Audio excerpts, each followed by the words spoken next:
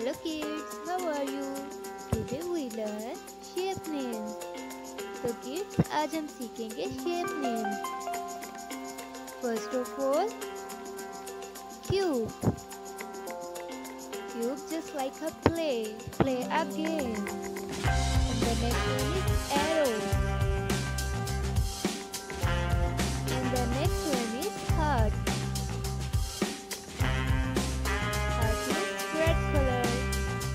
Next one is triangle. Next one is star.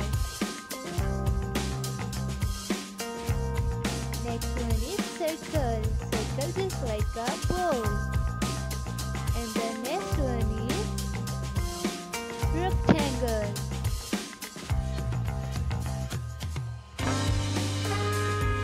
Here, here just like a box.